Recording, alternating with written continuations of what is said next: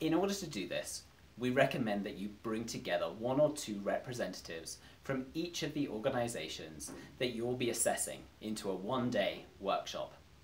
Participants should be senior decision makers and able to contribute to a conversation about what enables organisations to succeed.